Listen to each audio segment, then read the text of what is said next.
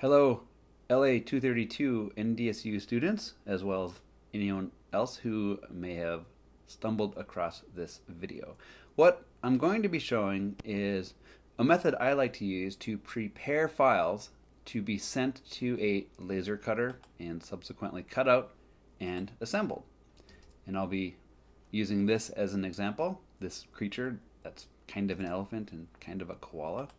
Here's a short video of the laser cutter in action. This is cutting out of chipboard, I believe. You can send a variety of materials to the laser cutter, cardboard, corrugated cardboard, chipboard, acrylic, some types of wood. Uh, you can etch into leather, into glass, into metal, all kinds of neat things. So I'm just showing one method of many, in particular, creating a contour model. Contour models conventionally used to show topography. And unless you've actually cut one of these out by hand with an X-Acto knife, you may not fully appreciate just how valuable and useful this type of tool is. So take my word for it, it is quite a time saver. Lots of ways to do this. So my method is really only one of a bunch. There are a few steps that I'll show you that are very important that they are done exactly and in the order that I show you. And there's a handful of things that are really can be done at different times. I'll try to make clear when that is. As a quick overview, what I do is create a shape in SketchUp just because it's really easy. So for example, this shape here was quickly modeled or pieced together with solid groups. And then I scaled it to what its real world size would be. This is kind of important for some other conventions that I'm using for my students in terms of file or material efficiency. So hopefully these cubes will make sense. But I'm just assuming that this real world thing would be somewhere between 15 foot cube and 8 foot cube. If I were to bring in, oh, say a person to see the scale, you know, that's about the size it would be. And, you know, I'm thinking maybe just for an, as an example, like a Henry Moore sculpture. Once this thing is assembled and turned into a solid group, that is really important. Anytime you're fabricating something, I definitely recommend that you create it as a solid group or make sure that it is a solid group. If you do this from the start, it's a lot easier to keep it a solid group than it is to try to fix it later on. That is also called a manifold solid in terms of a technical description, and I'll try to elaborate on why that is important as I go through this. Another tool I've used is Dale Martin's wonderful Artisan SketchUp tool set.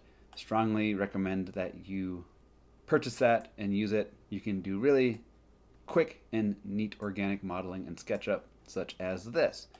That creates a component that looks like this. And once again, after this is placed, I recommend from time to time, make sure that it is staying a solid component or a solid group.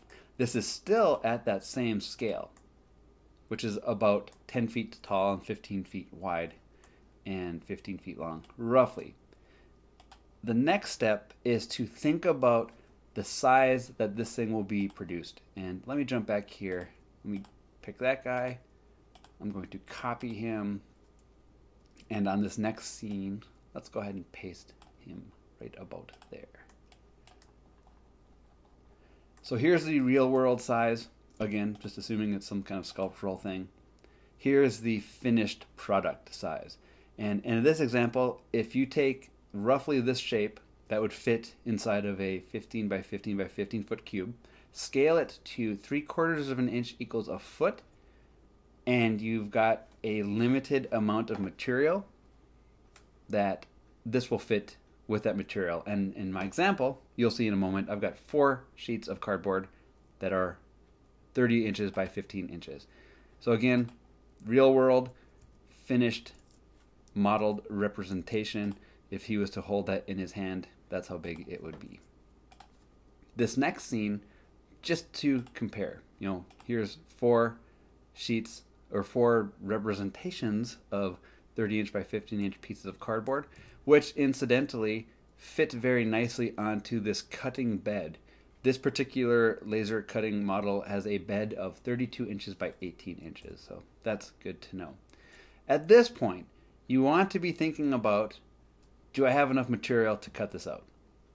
If you have unlimited cardboard, you maybe don't need to really consider this. But for my students, I want you to be thinking about efficiency. And a theme throughout this is I was thinking a couple steps ahead. Here is a good way to start that. I can look at this shape and look at these relative pieces of cardboard, and it seems like I could probably create this out of this shape. There are a few other ways to estimate this, and conveniently, these steps are also steps you need to do to prepare this to be cut. Well, what are those steps? They are to create slices or sections, a whole bunch of sections, that represent the top edge of the material being cut. Once you've got this, you can select that material,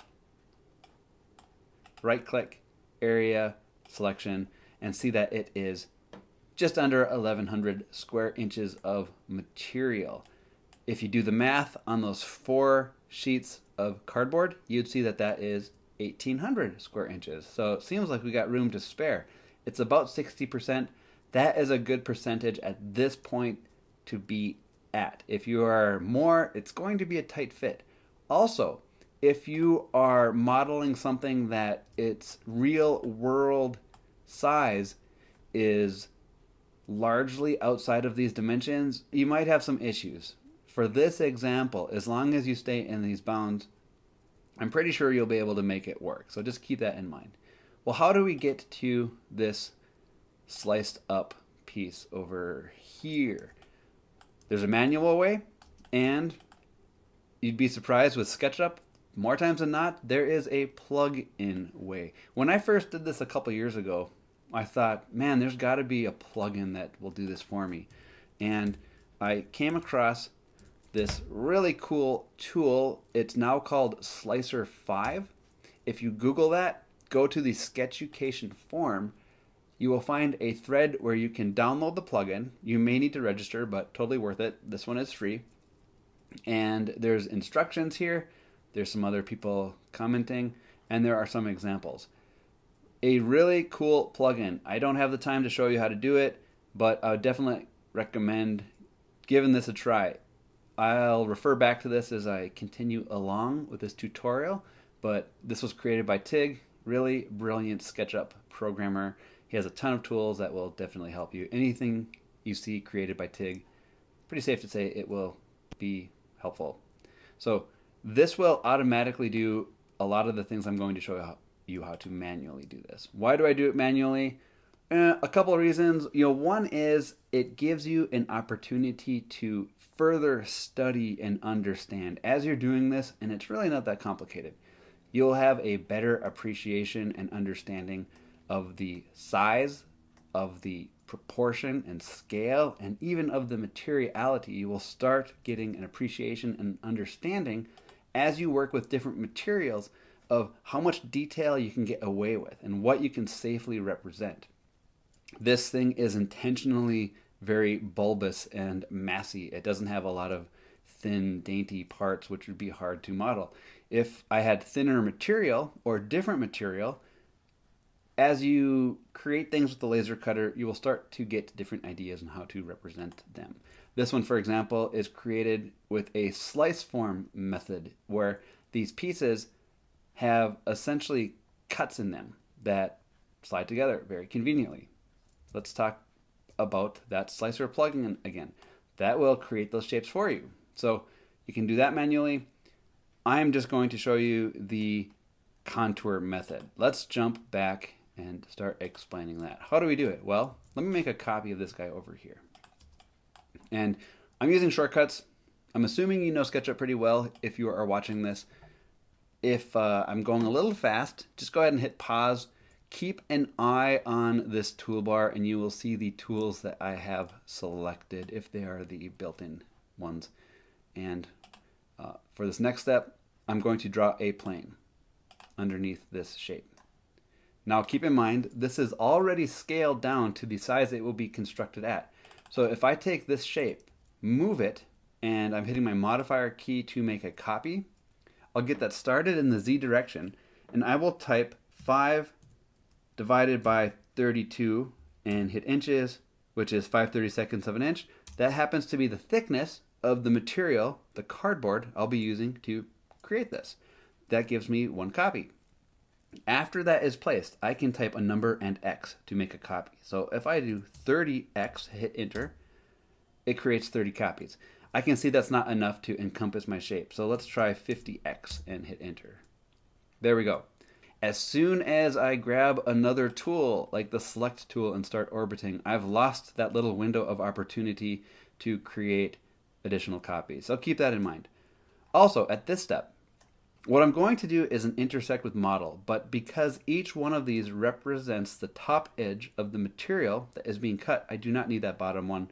So let's triple click, hit delete. That one is gone. At this point, I will select that model as well as these shapes, right click, and intersect faces with selection depending on the complexity of your model, the speed of your computer, etc. This may or may not take some time, so might be a good time to take a break, have a drink of coffee and or other beverage you may be enjoying. Once this is complete, now you just need to delete the unnecessary geometries. With the selection tool, I will draw a selection window from right to left, grab that edge. Now I can just hit delete on my keyboard. There's a few other pieces over here, delete, and zoom in. Since this is just a copy of the elephant, I can select that, hit delete, and I'm left with mostly planes or intersections. Now you will notice it's just a limitation of SketchUp. Sometimes the math doesn't work out where these are converted to planes. So we've got a few floating pieces just accept it. You know, nothing is broken. It's just a small error, easy to fix. For example, on this bottom one here, I can grab my line tool and I can see an obvious gap. So I will just connect those. That piece is now complete. Now, if you are picky about the front side or the back side being represented, which you can see by the colors, I don't think it'll matter for this process of preparing these files, but you know, if you're picky like me, you may want to right click and reverse faces.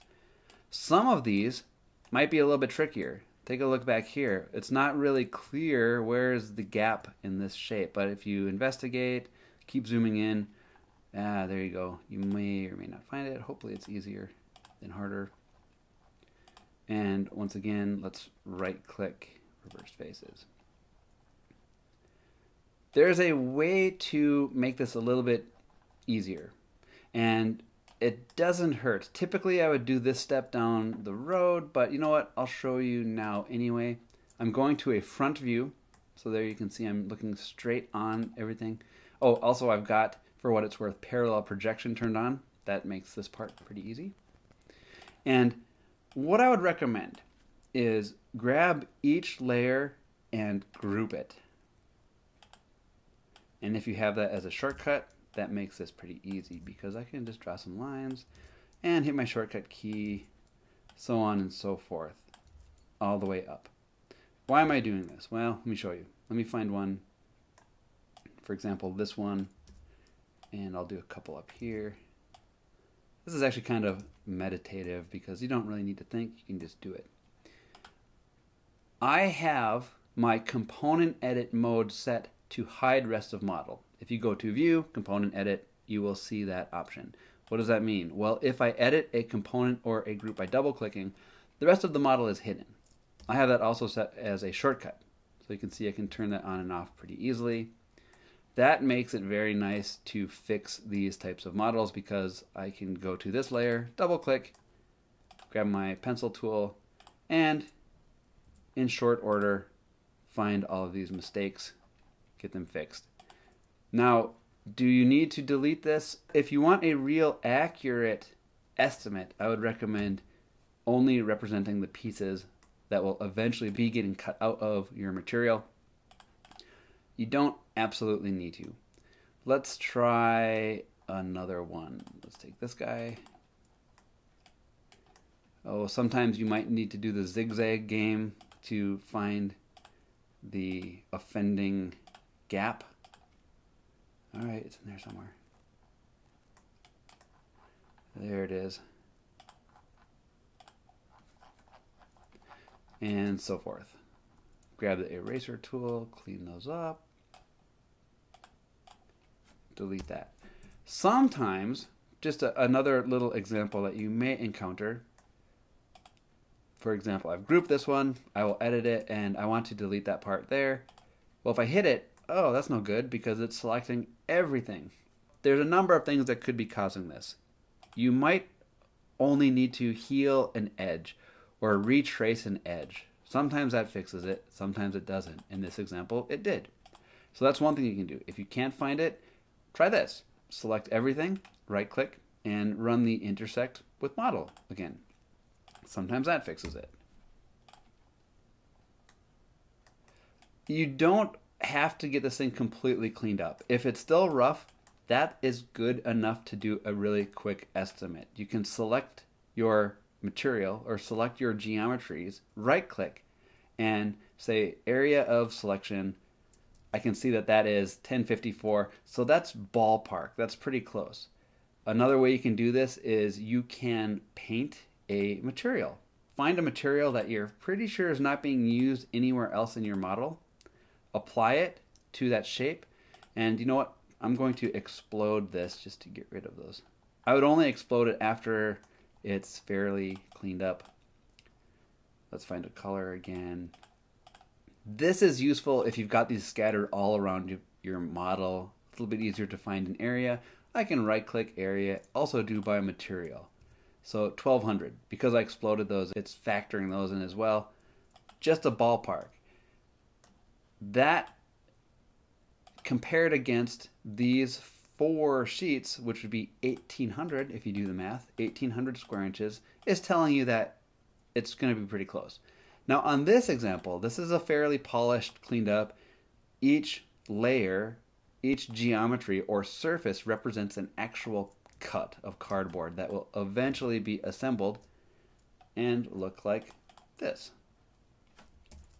So now I can get a little bit more of an accurate. You don't have to get this far, but you know, if you're picky, I can do an area selection and see that that is just under 1100 or 60% of the material that I'm working with. That is a pretty good percentage. If you get this far and you can find out that your model is reasonably going to take up 60%, I would say that's good. Don't do a lot more you're going to see that even at this percentage, with some very basic shapes, I had kind of a tight fit. Also, keep in mind that I am framing all of this in this context. It's slightly larger than an 8 by 8 by 8 cube, smaller than a 15. If your model stays within those constraints, you should be okay. But if you have a really kind of weird shaped model, uh, you might run into problems. But anyway, you've gotten this far. You're pretty sure you have enough material, assuming that you're constrained by that. The next step is to start thinking about how this thing would be assembled. And this is helpful for two reasons. If I were to just cut these out, I could send these to AutoCAD after I move them into different layers, which I'll show you in a moment. But it would be a nightmare because I could cut all these out, none of them would be numbered, I wouldn't know the top from bottom, it would be a pure nightmare to assemble. So I like to think about how would this thing be held together? Glue is one option, but I could also take like a wooden dowel, which I've modeled in here. Just bought a wooden dowel out of balsa wood, measured it, drew it in, put it in here. And this next scene, you can see that I've positioned these in logical areas where they would pass through. How do I know where those go? Two things that help. Turn on your back edges and go to a top-down view and make sure you are set to parallel projection. And I just totally lost my spot, so let's go back to, don't do a zoom extents, which is what I think I did. Top down. So that dashed line, that's the back edge representation, so I can see where these dowels are placed. The next step is to resize those dowels. They don't need to punch all the way through this model. I can guess fairly easily where these other pieces will go, and I can cap them on these other parts, for example, the trunk and this leg. So once those are positioned, I just scaled these with the scale tool. Okay, why does this help us out? Well, one, it gives you more of an actual support rather than having to glue each one of these. I could theoretically just glue the bottom ones and keep sliding them along the dowels. It's a constantly learning and pivoting process. You will see in a little bit why that I had a few issues with that, but I was able to adjust and you should be too if you have problems. This also will create cutouts. So let's jump ahead. You can see on this piece, which I will convert to AutoCAD, it shows me each area where those dowels are cut. And what I can do is align those. It's just an alignment thing. So even if I don't put the dowel in there, if I match up the rectangles, it, it works. Let me go back to here. This tool has an option to create an additional line where the previous piece aligns. What does that mean? Well, let's go back here. I didn't use it, but theoretically, that would create a line which you could then set to etch. So I could etch a little helper line where I could quickly align these different shapes. Again, the slicer tool, it's something I'd recommend you look into, but the amount of time it would take to learn it, it probably wouldn't hurt to do this manually at least once. That will make you appreciate it. Let's go back. How do I get those? Well, you may guess that I use the intersect tool again.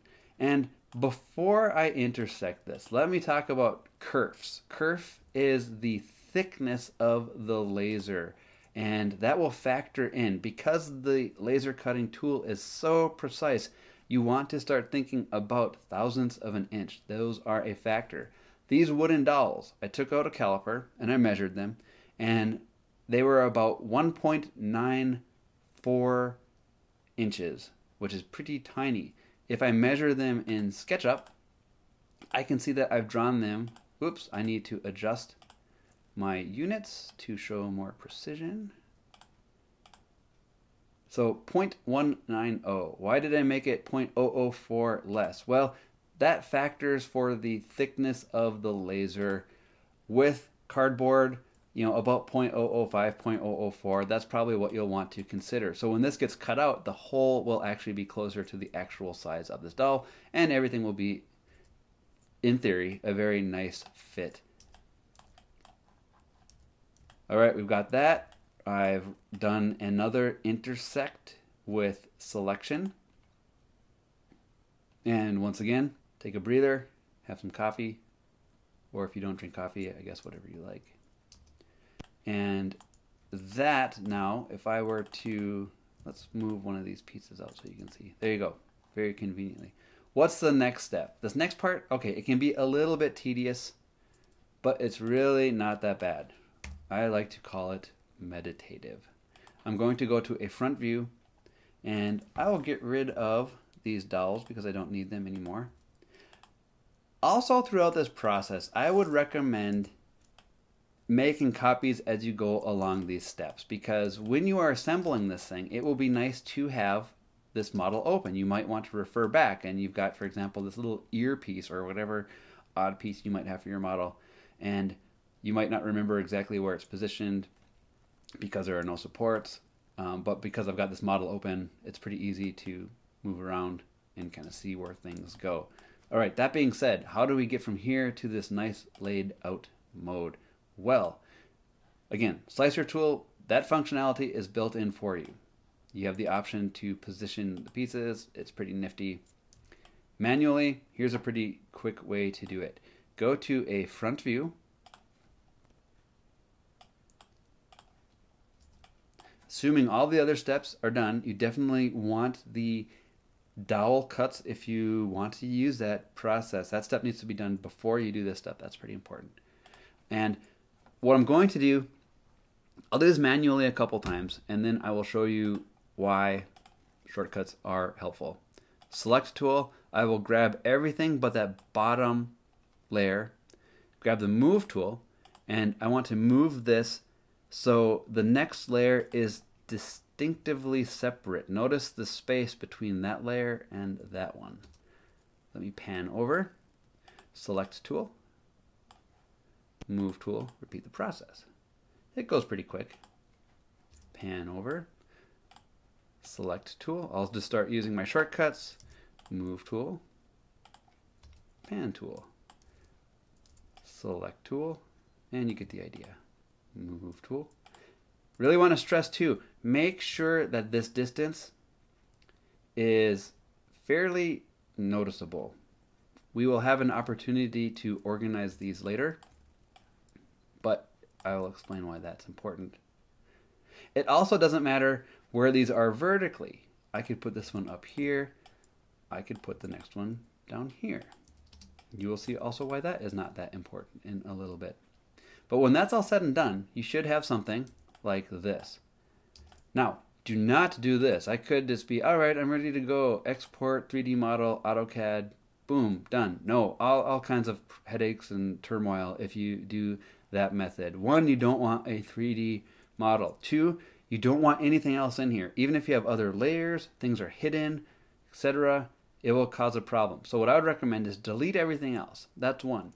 Or do this. Get rid of that. Copy just those positioned cuts by themselves and then make a new instance of SketchUp.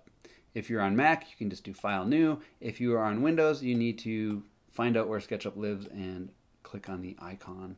Once you are here, go ahead and paste those.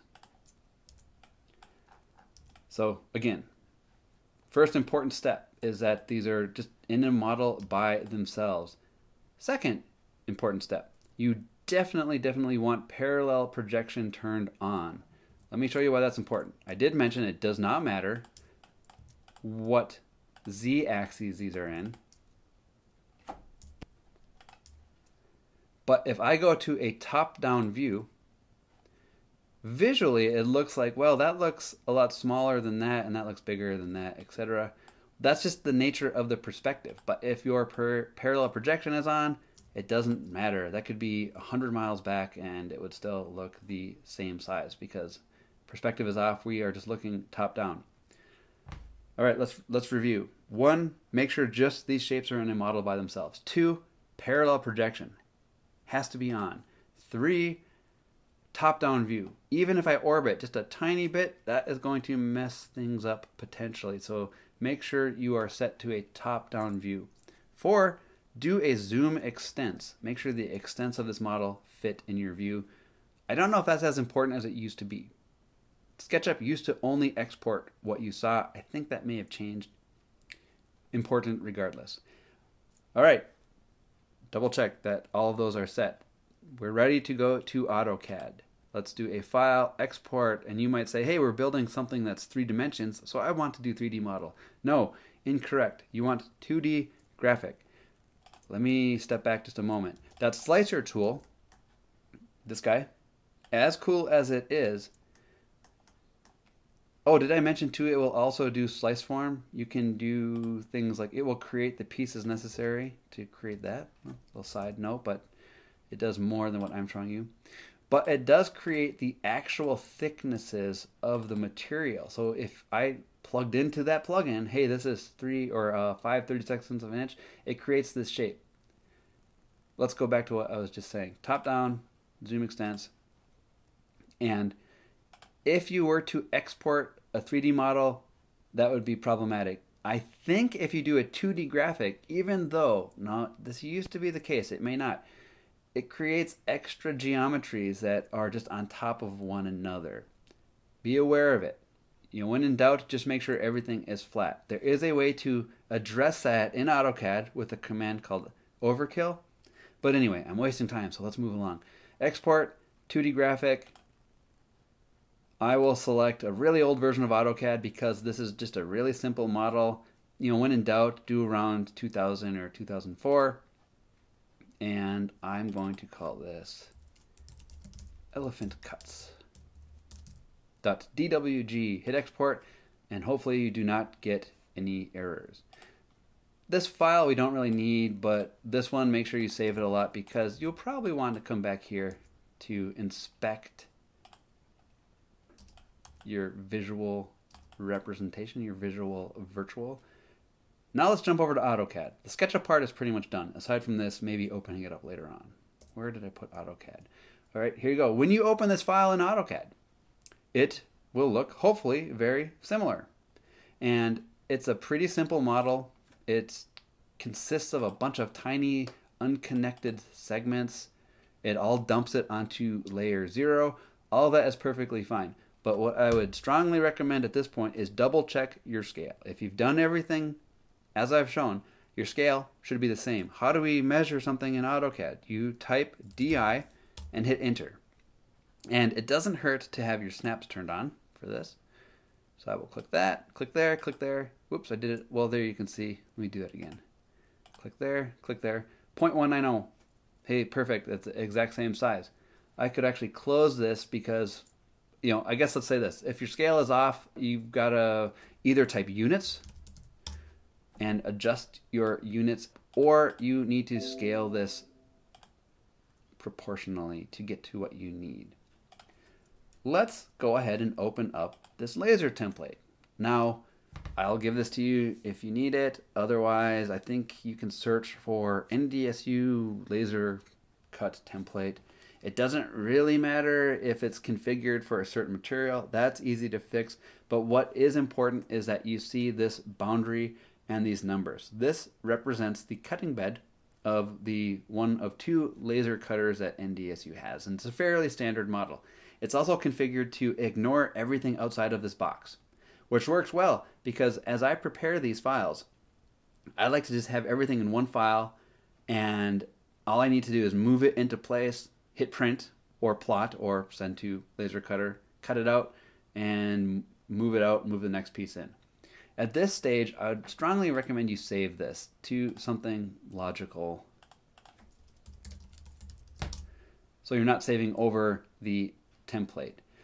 The other thing that I would recommend, now I've got my border unlocked. When you first open this, it'll probably be locked. I have mine unlocked. I'm going to position that or set that to be my current layer, is to virtually represent the material. How do you do that? Well, let's do this. Let's turn on the ortho mode. That will help. And I'm going to type P line, hit enter.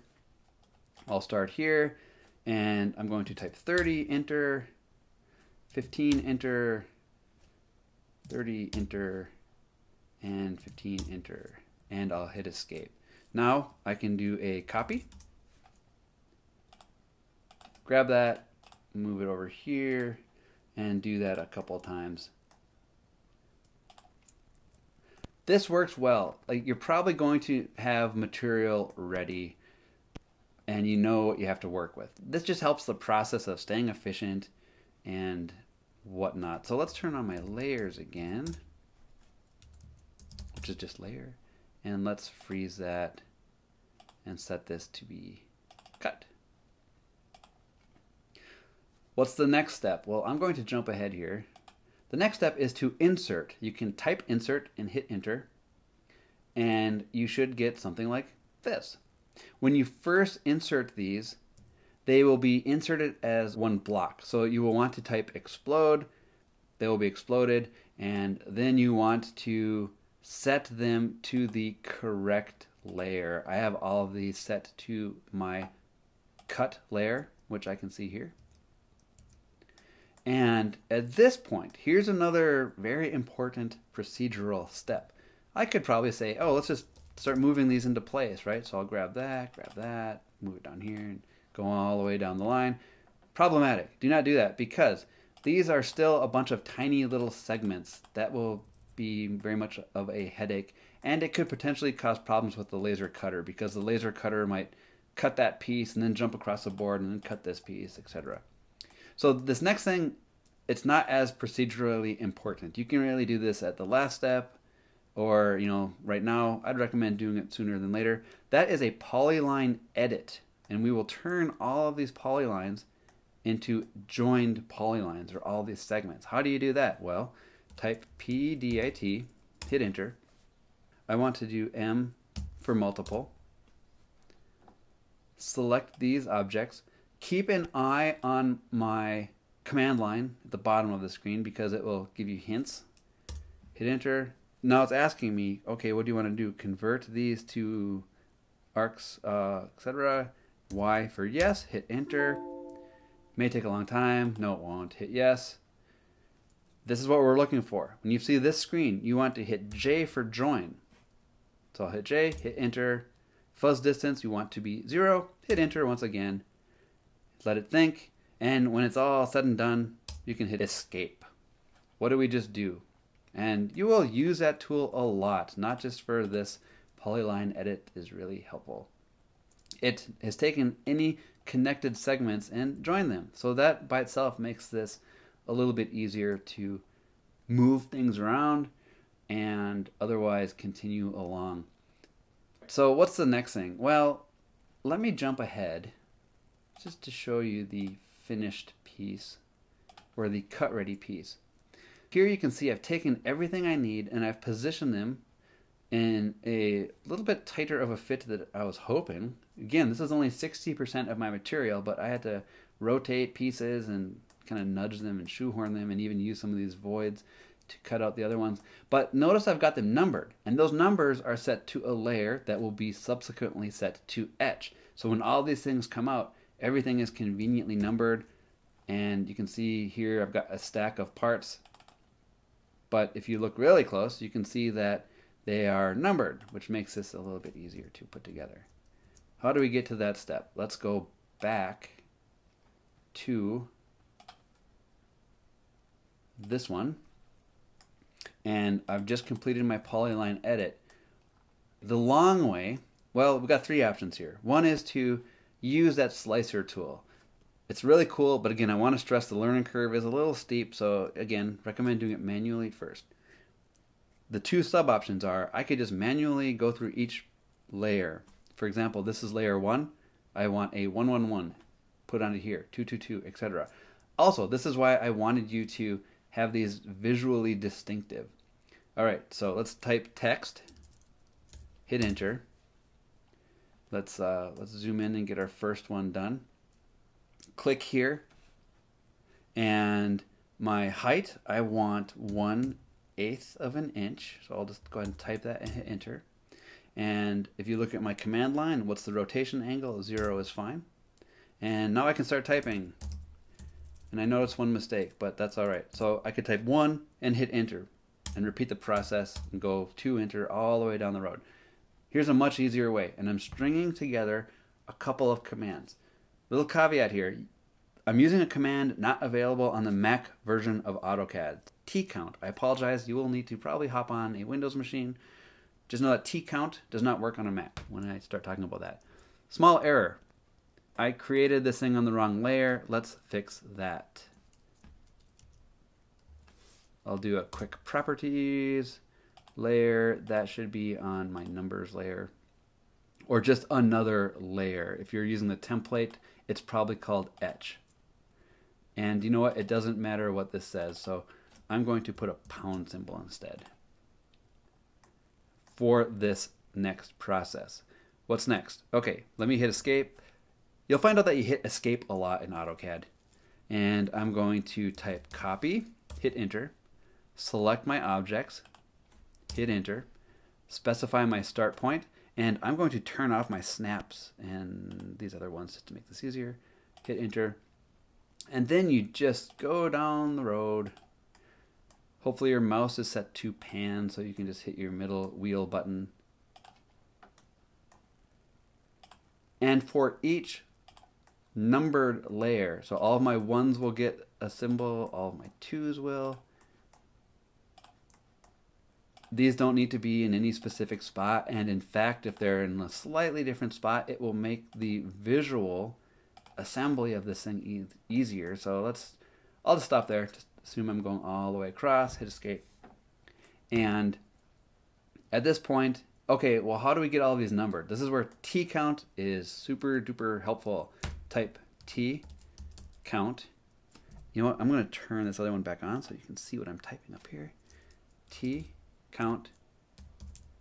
As most of these tools, there's all kinds of sub settings you will need to set. Hit enter. Select your objects. Well, I can select everything because this only works on text entities.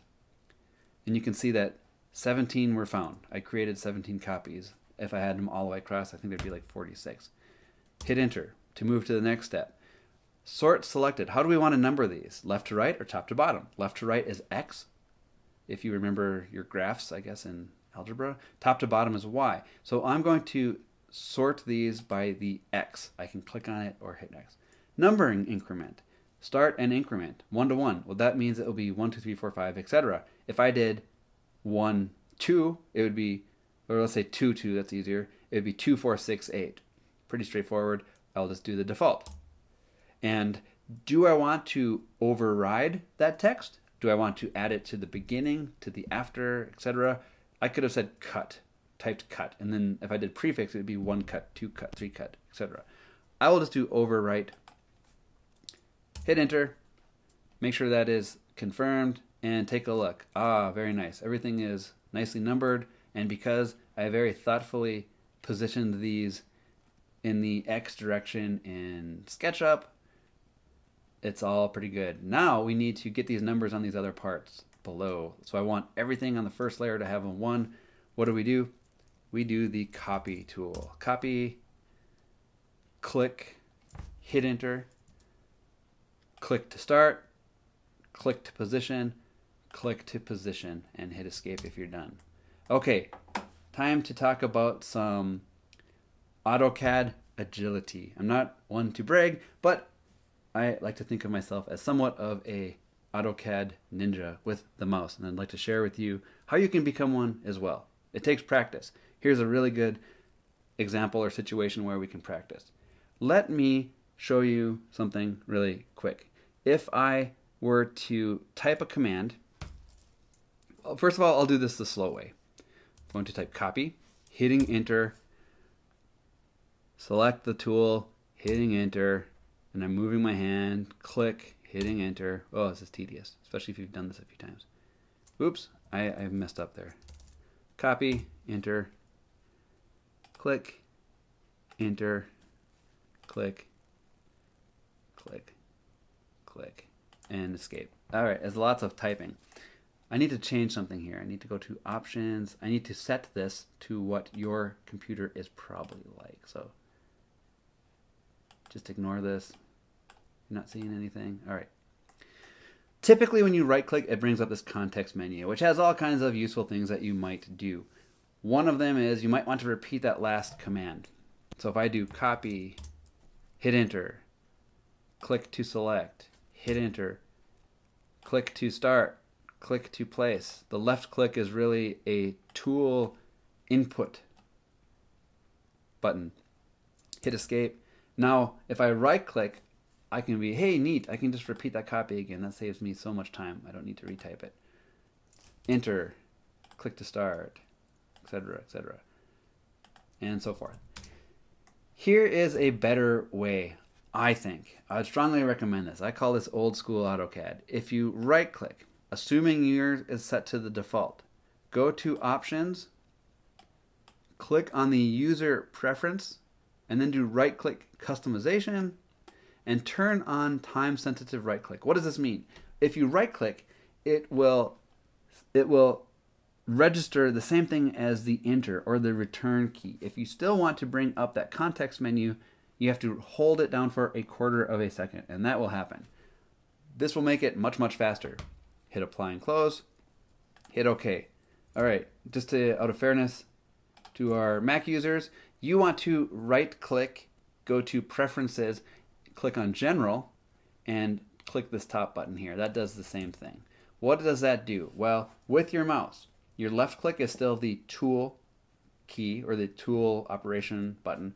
Your right click will act as the return key as well as the repeat key depending where you are in the process. So I'll do that same thing that I just did, but this time I will do it with less talking and more just how Matt uses AutoCAD. Type in copy, click, right click, left click, left click, left click, left click, right click to confirm, right click to repeat, left click, right click, click, left click, left click, left click, pan while I'm in the middle of this, and so forth. This is a really easy way to fire through not just this tool, but basically any tool in AutoCAD. Do it slow at first. I don't know if YouTube has a slow down option, but notice I'm left click, left click, left click, left click, right click to confirm, right click to repeat, pan, select, right click to confirm selection, left click, left click, left click, left click, etc. So that will allow you to quickly go through this whole process and it should only take a few minutes. Now we are almost ready for the really fun part of moving all of these down here. What I'd recommend before you do that is group each individual thing with the group command. Type group, hit enter, select your shape, hit enter. Or if you're mastered that, that mouse tool, I can just right click to repeat that, right click to confirm, right click repeat. So I'm really doing the group command rather quickly using nothing but the mouse. right click confirm, right click to repeat. And maybe I miss the uh, the context menu. Well, all you need to do is right click and hold it for a quarter of a second and that will come up. Once that is all done, and I'll hit escape to boot out, each one of these is very conveniently in its own little block. And let's just assume I've got that done all the way down the board. What's the next step? Well, you could just start placing them. It really helps to start grouping these logically by shape. Try to cluster these first. Really be as efficient as you can. Then take those clusters and move them into position. Let me jump to another window to explain why that is a little bit easier. Oh, so this one I've already started. You can see that I've moved these ones up to here and my, my little spotlight isn't working. Apologize for that. But I can type move, whoops, if I can spell, move, quickly select that group, right click, and once again, because I've got these shortcuts, I can do all of this with the mouse. Let's see, let's quickly grab some of those ones at the bottom, get those over here. And because they're all numbered very conveniently, it'll be easy to reassemble these. These larger ones, you know, maybe I want to do that. You know, that's a little unique, so I'm going to put him up there. But you get the idea. You just want to position these in a way that makes sense. You can see over here, I've, I've rotated those and kind of nudged them together. And when it's all said and done, after I've got these grouped, let's see here. Let me just move this one guy down. So I'll put that one, whoops, so like that one doesn't quite fit, so I'll type rotate, select, right click, type 180, whoops, 90? Oh, no, I'm in SketchUp mode. Rotate. I only wanted that to be 90 degrees. Move. Now I can position that and nudge it some more. When it's all said and done, it should look something like this one here. If you get this far, you can take it to a lab tech, or if you're certified to use the laser cutter, you can sit down and do it yourself. It should be very cut friendly. There are a few power and speed settings that you can configure. What's really important is that your your numbers are on an etch layer. If these were all not, eh, you could fix it, but it's easier just to make sure they're done. You know, if these were all on layer zero and at this point I wanted to change them, it's a little bit trickier. But I would sit down at the laser cutting computer I would type move. Keep in mind that these boxes that I drew to represent my material are now locked. I'm going to turn on my snap and I will move from this corner to this corner. Notice none of that extra stuff is coming along for the ride. Place my material, send it and listen to the music of the laser cutter as it slices out your pieces. Assembly, I won't really talk about. If you've done all of that, it's fairly easy to put together. But remember, I said I had a small problem. What was it? Well, to make a long story short, I accidentally scaled some, but not all of these, at like 98%, which was enough to throw off these squares. So halfway through putting this together, I had to bust off my wooden dowels and just use those for an alignment tool. But you know what? It still worked out. It was still pretty easy to complete and end up with this thing here. I hope that makes sense. I jumped around a little bit. As always, if you have questions, let me know. I will do my best to help you out. Good luck and have fun. I hope you make something pretty cool. I'm sure you will.